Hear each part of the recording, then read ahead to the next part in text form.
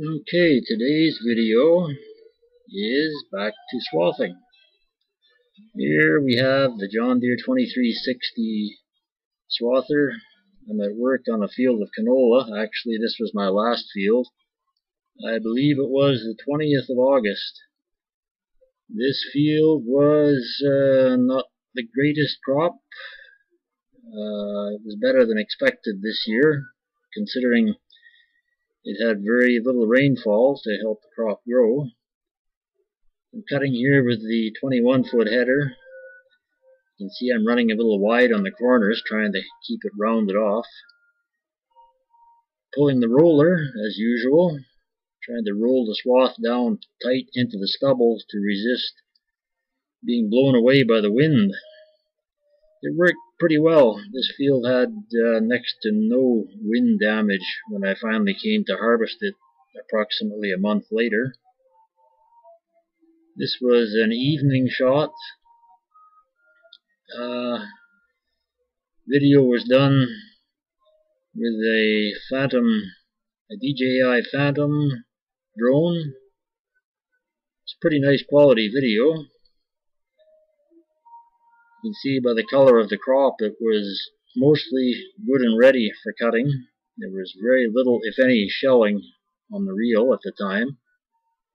Yet, when I harvested it, the green content was uh, well within the limits for uh, the top grades of canola, so I guess I hit it right, got lucky again. You can see in the upper left there the remains of the lake that used to be farmland, cultivated acres.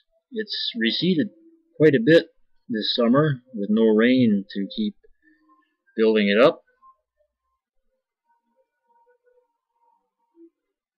Moving right along here, coming to the west end of the field, that's road allowance in there between the trees. It's seen very little use the past year since the road was underwater to the south and nobody could really pass through. Currently it's back in service. The water's gone down. So uh, a day or two later, I'm not sure exactly what the date was, I'm going to say 22nd or so of August, I was swathing this field of oats on the same section in this overhead view you can get a good idea of uh, how it lays two 21 foot swaths side by side. This was not a heavy crop of oats, a little on the short side, it yielded fairly well, but uh, it was uh, a little short on straw, so uh, I would have had to travel pretty fast to keep the combine cylinder or rotor full on a single swath, so uh, putting a double swath through meant I would have enough material coming in to keep the speed down to a manageable level where the pickup could actually pick up all, or at least most of the swath, whereas traveling along at 5 or 6 miles an hour I would have missed a lot of it. Anyway, stay tuned for the uh, harvesting section of the video.